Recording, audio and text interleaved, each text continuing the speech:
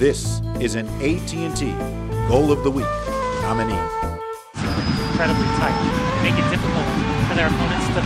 Gonzalez gets around Talley. Gonzalez into the net. DC United just killing them. The secondary runs, ball, scoop pass.